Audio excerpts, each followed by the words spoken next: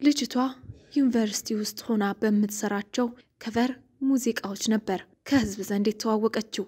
አድናቂዎቿ የሰውን ሙዚቃ በራሷ ቀለም የምትጫወትበትን መንገድ ያደንቃሉ። ቀበጥ መጠሪያዋ ነው። ታዲያ ይህች ሙዚቀኛ ከሰሞኑ አልበም ትለቃለች። ለረጅም ጊዜ ከፊልም ኢንዱስትሪው ጠፍታ የነበረችው አርቲስት ማህደር አሰፋ በመሪ ተዋናይነት የተሳተፈችበት ዶቃ ፊልም በቴሌቲቪ መተግበሪያ መታየት ጀምሯል። ሰላም ጤና ይስጥልን ውድ ቴሌቪዥን አድማጭ ተመልካቾቻችን እንደምን አላችሁ? ይህ በዚህ ሰሞን የተሰኘው ፕሮግራማችን ነው። ቆይታችሁን ከኛ ጋር እንድታደርጉ በአክብሮት እንጠይቃለን።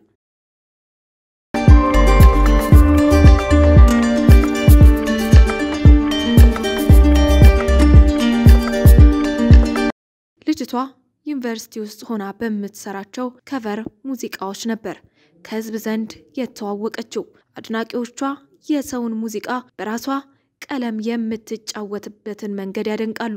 አባቷ በኢትዮጵያ የሙዚቃ ኢንዱስትሪ ውስጥ የበኩሉን ትልቅ አስተዋጽኦ አበርክቷል። እናቷ አባቷ አዝማሪ በመሆኑ ምክንያት ትታው ሄዳለች። በዚህም የእናትን ፍቅር ሳላውቅ ነው ያደግኩት ስትል በተደጋጋሚ ስትናገር ትደመጣለች። አባቴ ህይወቴ ነው፣ ለሱ ያለኝን ብሰጠው ያንሰዋል የምንጊዜም ቃሏ ነው። ለአባቷ ያላት ፍቅር በምንም አይለካም። ቀበጥ መጠሪያዋ ነው።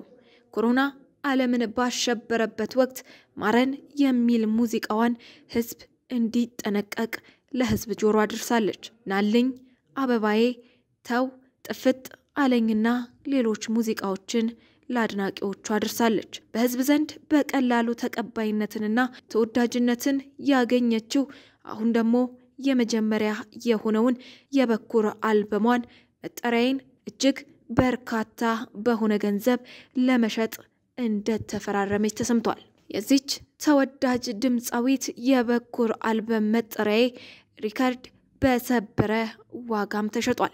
አልበሙ ነሐሴ 12 ቀን 2016 ዓ ም ለአድማጮች ጆሮ እንደሚበቃም ተገልጿል። ይህ ከአንድ ቀን ባነሰ ጊዜ ውስጥ ለአድማጭ የሚደርሰው አልበም በ 160 ሺህ የአሜሪካን ዶላር ወይንም በኢትዮጵያ አሁናዊ ምንዛሬ ከ17 ሚሊዮን በላይ መሸጡ ተሰምቷል። በኢትዮጵያ አልበሞች ሽያጭ ታሪክ ውስጥም ከዚህ በፊት የዚህን ያህል ዋጋ እያወጣ አልበም እንደሌለም ኢትዮጲካ ሊንክ አጣርቼ ደርሼበታለሁ ብሏል። የዚችን ተወዳጅ አቀንቃኝ አልበም የገዛው Zojak Worldwide የተባለ የአሜሪካ አሳታሚ ኩባንያ ነው። ድርጅቱ የሙዚቃ ስራዎችን በተለያዩ መንገዶች የሚያከፋፍልና የሚያሰራጭ ስመጥር ተቋም ሲሆን የቬሮኒካ አልበምም በኩባንያውና በቬሮኒካ የዩቲዩብ ገጾች በተመሳሳይ ሰዓት ይለቀቃልም ተብሏል። መጠሪያ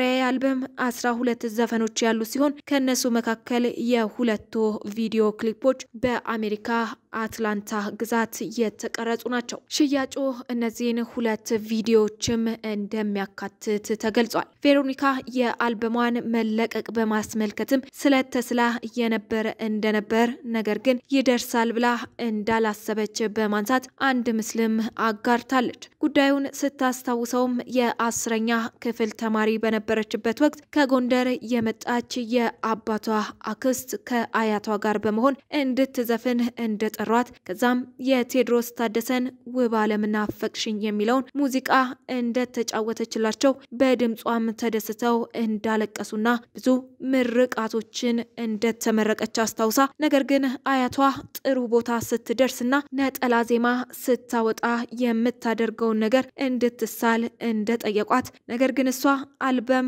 አወጣለሁ ብላ ስለማታስብ አልበም ሳወጣ የማደርግላትን ብዙ ነገሮች ተሳልኩኝ፣ ነገር ግን አልበም አወጣለሁ ብዬ አስቤ አላውቅም ነበር ብላለች። መጀመሪያ ነጠላ ዜማ ሳወጣ አያቴ መታ ስለቴን አምጪ አለችኝ የምትለው ቬሮኒካ ያኔ እኔም ኮስተር ብዬ አልበም ሳወጣ ነው አልኳት። አሁን ግን ልክ አልበሜን እንደጨረስኩ ስታውቅ ስለቴን ብላ መጣች። እሷ ብቻ ሳይሆን ቤተሰቦቼ፣ የአካባቢው ሰው በሙሉ ስለቴን እንድሰጥ እየጠበቁ ነው። መስጠቴ ግዴታ ነው።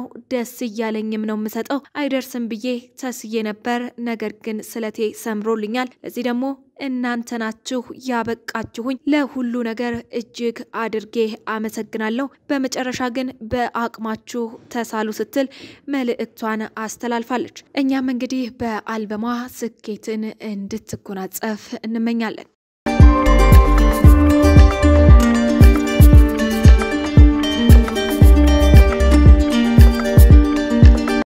ለረጅም ጊዜ ከፊልም ኢንዱስትሪው ጠፍታ የነበረችው አርቲስት ማህደር አሰፋ በመሪ ተዋናይነት የተሳተፈችበት ዶቃ ፊልም በቴሌቲቪ መተግበሪያ መታየት ጀምሯል። በጉጉት ሲጠበቅ የነበረው ዶቃ ፊልም በቴሌቲቪ platform በይፋ መታየት መጀመሩን የ Eagle Lion መስራችና ዋና ስራ አስኪያጅ በእርሱፍቃድ ጌታቸው ከፊልም ተዋናይና ፕሮዲውሰር ማህደር አሰፋ ጋር በዛሬው ዕለት ነሐሴ 11 ቀን 2016 ዓ.ም በሸራተን አዲስ ዶቃ የተሰኘውን ፊልም በቴሌቲቪ ለማስተላለፍ የስምምነት ፊርማ አድርገዋል። ዶቃ ፊልም አንድ ዓመት ባልሞላ ጊዜ ውስጥ የፓን አፍሪካን የፊልም ፌስቲቫል best feature film ዘርፍና የለዛ ሽልማት የዓመቱ ምርጥ ፊልም ዘርፍ አሸናፊ መሆን የቻለ ፊልም ነው። ቴሌቲቪ ሰኔ 27 ቀን 2016 ዓ ም ከኢትዮ ቴሌኮም ጋር በአጋርነት ስድስት ሰዓት ከሌሊቱና ትዝታ የተሰኙ ሁለት ድንቅ የአማርኛ ፊልሞችን ይዞ